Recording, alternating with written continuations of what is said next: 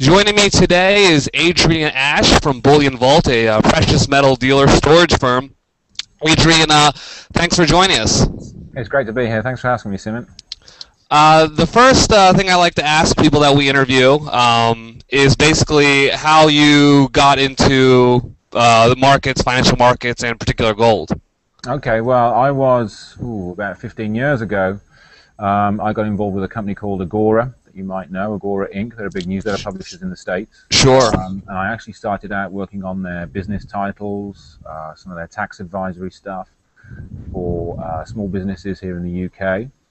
And then I moved on to their financial titles right around the time of the tech stock crash. So that was good fun. Uh, trying looking for equities that were good value, of which there were a few long term, but uh, at the time it was it was a tough sell. Um, but I then moved on to being head of editorial there, uh, and I also began working on the Daily Reckoning with Bill Bonner, which I'm sure you know. Uh, sure. and I I ran their UK uh, edition of that for about oh God, four or five years. Uh, and as part of that, I mean, really around 2001, I started to become very interested in precious metals. Uh, they seemed to represent the uh, outstanding value at the time, very overlooked, hated, completely beaten down. You know, when you had New York Times asking who needs gold when you've got Alan Greenspan, at the same time you had Gordon Brown here in London selling half of the UK's gold, it, you know, it seemed to be worth a look because governments, when they sell something for ideological reasons, always sell it under market price. You know, we'd seen the same thing in the UK with privatizations throughout the 80s and 90s.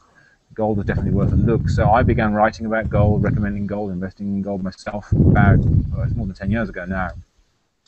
And then, okay, uh, okay, so uh, th that's that's great. Thanks for, for that introduction. Um, so you got into the gold market in 2001. You joined uh. Bullion Vault in uh, 2006, I think you said. Yeah. Um, is your view, you know, when you you were talking about, you know, part of the reason you were interested in gold in 2001 was that it was pretty contrarian. Uh, mm-hmm. You know, it had been at a a really declined uh, significantly, you know, at that point, well off of its uh, 1980s highs. Uh, sort of, what's your approach to the markets? I mean, um, are you are you in and out? Is it technicals? Are you coming from the Austrian economics background that a lot of uh, people in gold are are interested in? What's your sort of analytic uh, background from? Well, for myself, it's buy and hold. I mean, I'm you know, it's I, I do you know, I am uh, fairly certain that we are going to see a you know a major crack in um, major currencies, particularly sovereign bond markets, at some point. Um, I expect it to happen within my lifetime, um, you know, and I, I, do hope that my kids are going to be able to pick up the pieces on the other side of that.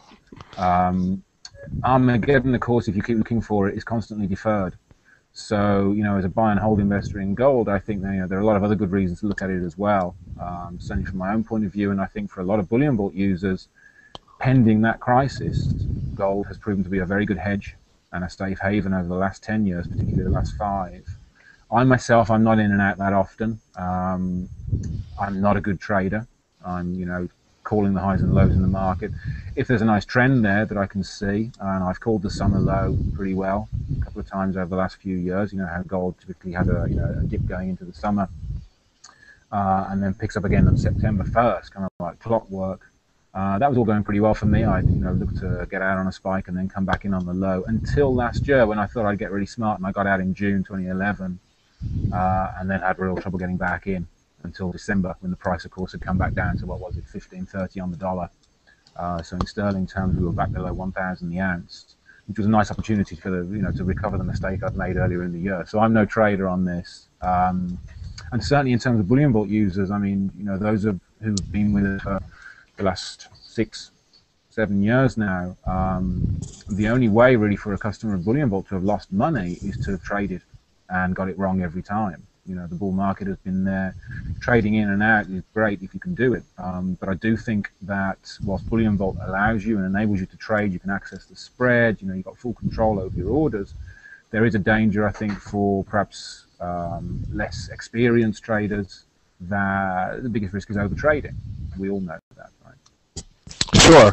Um, okay, so you're coming at it from a, uh, a buy and hold mentality. Um, you know, basically, it sounds like you, you timed the entry well. 2001 was, you know, one of maybe the best time to get in. Yeah, yeah. Um, what are what are your thoughts on you know you mentioned the sovereign debt crisis being uh, a major driver or one of the things that you know and this is I'm holding gold you know for largely the same reason I see the the sovereign debt is clearly unsustainable or you know it, it seems one could argue it's unsustainable especially with the, the fact that it's growing. Um, so how uh, what are your thoughts on like how much longer do you think you'll end up holding gold? Is this and also related to that when it comes time to exit, you know, are you looking for a mania to sell into, or do you think gold's going to get remonetized? What are your thoughts on uh, on when will it be time for this trade to end? I mean, that you know, that's the what are we at? Eight trillion dollar question, really. Right. uh, where I think the main, I think I, I think you're right, Simon, that it, you know most people who are in the gold market or have been for a while, and most people who, who spend uh, spend time looking at this think that it will go one of those two routes. You're either going to have some kind of mania blow off, uh, which will be very difficult for anybody to quit, waiting for that big top. I mean, how many people actually took profits at 850 the ounce in January of 1980? and how many of those who did then didn't go back in as gold belong, began its kind of 20 year decline. Very difficult on that big mania to, to really call it. And I think it's only those people who have been in for a while. And so, I mean, I, you know, I'm, I'm looking at this still, I think, with a five, 10 year horizon. I think in terms of the big cycle here, you know, the credit bust that we've had in the last five years, if you look at particularly how the gold price has moved in euros, it only started to go up in 2005 you know, it's you know you could say, well, we're more than a decade into this, but I think when you look at the oversold level gold was at and silver as well back at the turn of the century, you know, it had a long way to come back up. It probably will overshoot. The alternative scenario, again, I think you're right to, to raise that, is that gold and silver actually become more constant features of the financial landscape. I personally think that's more likely. I think that if you look at the long sweep of history, what you had 15, 20 years ago um, was an aberration. I mean, this was, you know, this was the, the real odyssey, was to actually have gold and silver spurned to that extent.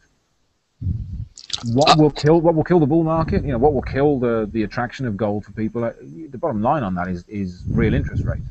It's what did for gold and silver at the turn of the 1980s. Uh, and I really do think that actually on the ground, it's what's been driving bull market in gold for Western investors in particular in the last 10 years is that returns to cash, returns to bonds, uh, and by extension, returns to equities, because if you're in a low interest rate environment, then obviously dividend yield is going to be really poor as well, um, mean that people are, are having to look at other things, having to look outside of what have become called traditional asset classes. Now, really not. We're talking about you know, derivative products, packaged financial services, and so on. But the returns to those have become so poor, and interest rates now at zero, nominal, minus two and three percent in real terms after inflation. That's really what's been driving um, people to choose gold and silver instead and drive the price higher.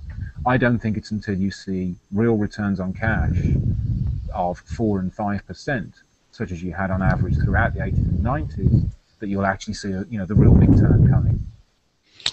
Okay, in terms of um, you know, you mentioned, for instance, you're you're looking for yields, you know, like four to five percent. Now we're basically a negative, uh, yep. you know, real interest rates. Um, I mean, is there?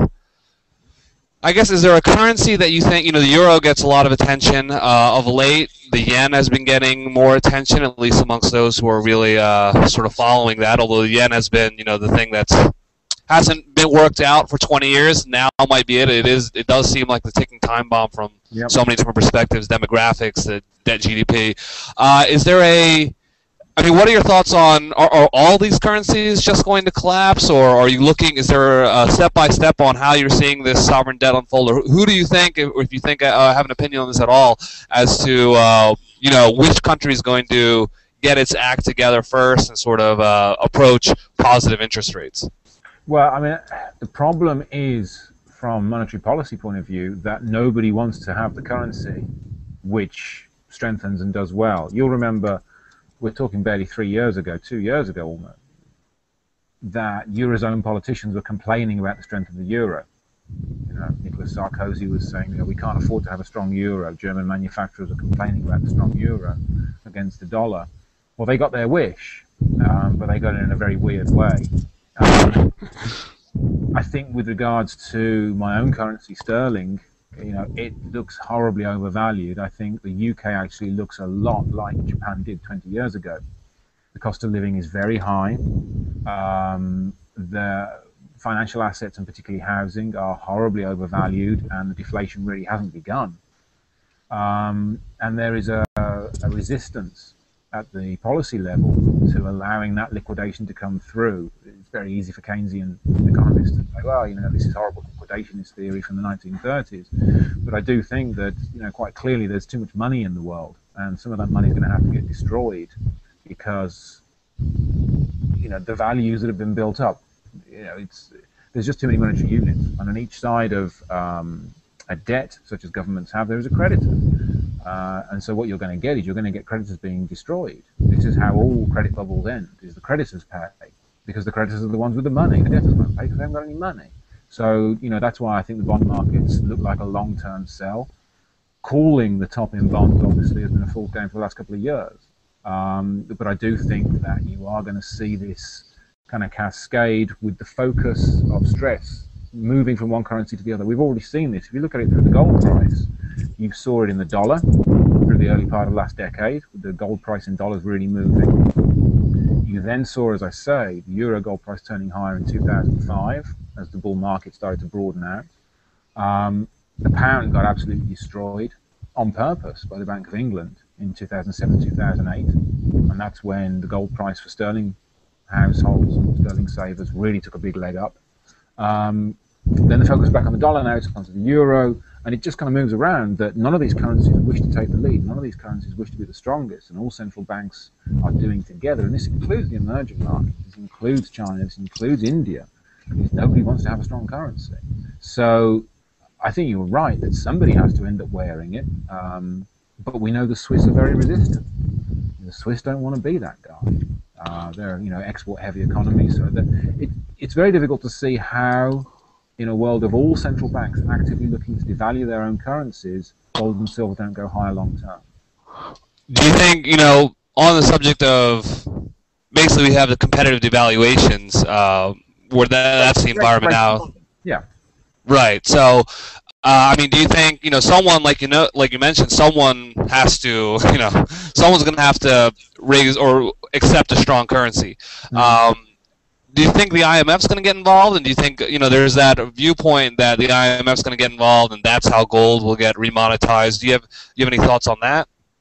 I politically, I don't believe the IMF are going to, or any of the Western authorities are going to really be looking to include gold as a major plank of any kind of new monetary system. I don't really think there's much appetite actually for rebuilding a system with formal rules and so on. Um, I think that appetite might come back in due course when you start to get exchange controls. If you look at how Bretton Woods worked after the Second World War, you had to have the shutters down on all these different economies so that money could be kept in. If you won't defend the value of currency with stronger interest rates, but you don't want to have a collapse, then you have to bring down the exchange control shutters.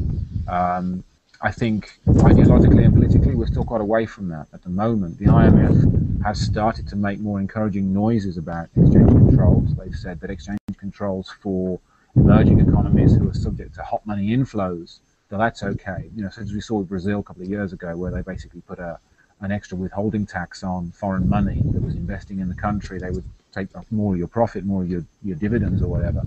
Um, and that's a step towards it. But I don't see gold, therefore, being encouraged into the system by these guys because what they're actually trying to do is to manage uh, wealth within the existing system as it is. And it's a relatively free floating system. I think they'd like to try and maintain that. Um, I don't see gold, as I say, really being put forward as a major solution by any monetary authority or any political authority anytime soon. Certainly not in the West. Uh, I do think that in China, we know the Chinese authorities are hoarding. We know that um, we know Chinese households have been accumulating huge quantities of gold over the last few years. We know that there is a very strong cultural affiliation, affiliation with gold in China, which has only been allowed to come back in the last 10 years. Its economies historically, which have been strong and growing and accumulating a lot of privately held gold, which have um, moved on to some kind of formalized monetary standard more than gold. So you know there is a possibility, but I think it's a long way down the line because again, China is very much a bureaucratic regime. The idea of actually having free market gold as being some kind of monetary standard is anathema to how these guys run the country. Sure. Um, in terms of um, you know silver, you mentioned that uh, a bit earlier, and Bullion Vault uh, you know does provide silver storage as well as gold storage. Mm-hmm. Uh, do you are you coming from the perspective that the two are going to move together? Um, do you have any preference for one? Do you, I mean, there's that perspective that silver is just a more volatile version of gold. There are some people who are really bullish on silver, and other people think that you know silver won't, that gold will get remonetized, silver won't, and then you know silver is almost like an illusion. What are your thoughts on uh, on how to play silver, how to incorporate it, how it relates to gold, and, and that whole subject? Well, I mean, gold and silver move together on a daily basis all the time. I mean, you're not going to find two financial assets which have a closer correlation. I think you can count on one hand the number of times in the last 40 years that gold and silver have gone in opposite directions for more than two days running. I mean, they, they're just joined at the hip on a daily basis, but they do have different characteristics as a financial, you know, as an asset, um, as a non, you know, as a non-financial asset. Um, silver is clearly far more useful useful industrially than gold. About 60% of annual demand for silver goes to industrial production, uses, solar panels, biocides, and so on now coming through. Um, gold just doesn't have that level of use. It's below 15% the last couple of years that gold offtake goes into industry. So I do think that when you see um, financial markets take a hit, let's take Lehman's as an example, silver and gold both fell together. So they should. That makes sense because there was a lot of inflationary money coming out of the futures market in both of those. You know, there's a lot of credit being destroyed. If a big investment bank vanishes, credit has evaporated. So the futures market price of both fell very hard. But silver fell very much faster than gold and very much harder because, of course, it's exposed to industrial and GDP growth in a way that gold isn't. I do think that when we do see a turn, and possibly if we do get the kind of much stronger inflation, which a lot of gold investors think is coming pretty near down the pipe now, um, silver will look like a very attractive play. I think if you have a kind of inflationary industrial boom in the West, be it financed through new fiscal deficits, be it financed through um, you know, new central bank easing directed at, purposely directed at corporate borrowing, then I think you know you could see that kind of Weimar situation of corporations spending all the money that they've hoarded in the last couple of years very quickly to accumulate assets, factories, capital investments, and that may well take silver very much higher very quickly. Um, what you do have though is there is a situation I think with silver that when it captures the imagination, and we saw this in spring 2011 Sorry, I'm going to have to take this. Sorry. I'll roll back a bit. I do think with silver, with the silver market, what you do get though is when it captures the imagination, particularly of private individuals, private investors, um, but also a lot of fund managers, and we saw this in spring of 2011. It really captures the imagination. I think the the fact of the silver market being really quite small, it's about one sixth the size by value of the gold market. Um, so it's you know it's relatively contained. And then when it takes off, obviously the more money you put a billion dollars into gold today won't touch the side. You put a billion dollars into silver, it'll show.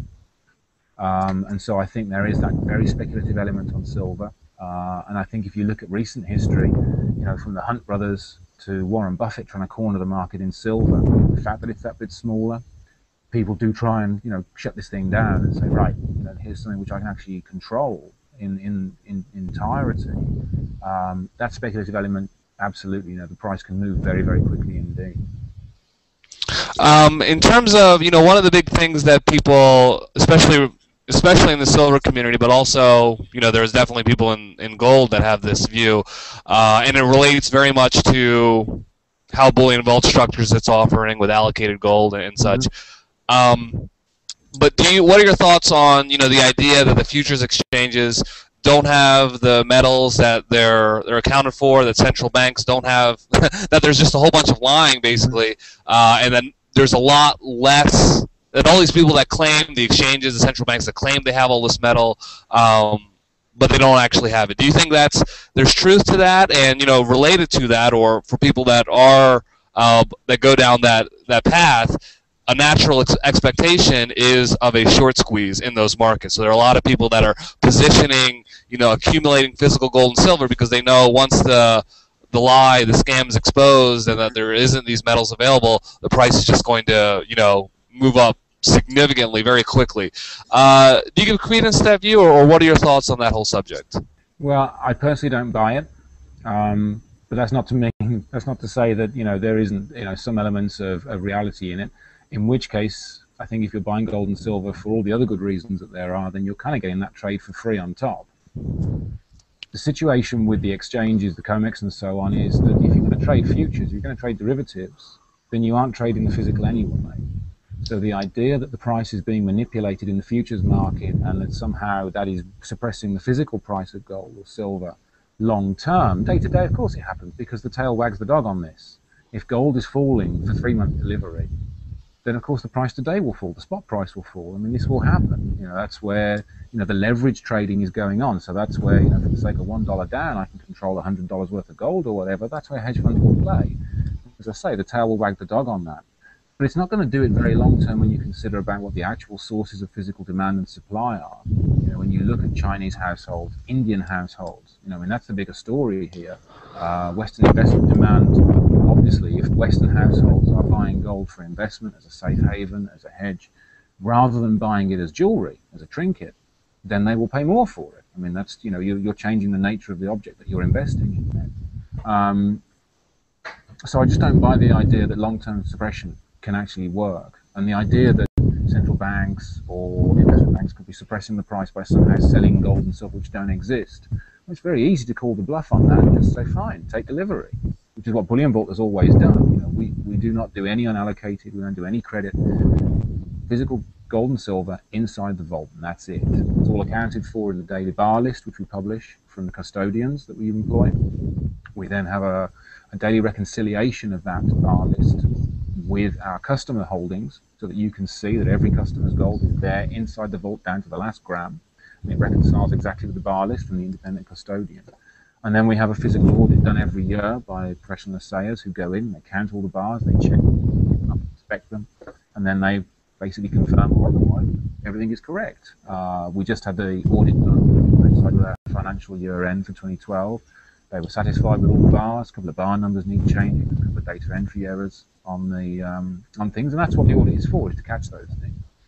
If you are going to trade the futures market, I think you should expect to get squeezed in and out because the big heavy hands here, the guys, the investment banks, the you know the hedge funds, they're they're the big money, and the idea that it's somehow wrong or immoral for them to control the price, well, this is a market, and the bigger hands will control the market. Now, central banks is an interesting point what are central banks doing in the gold market right now? Well, there's two kinds of central bank. I mean, there's Western central banks who were selling.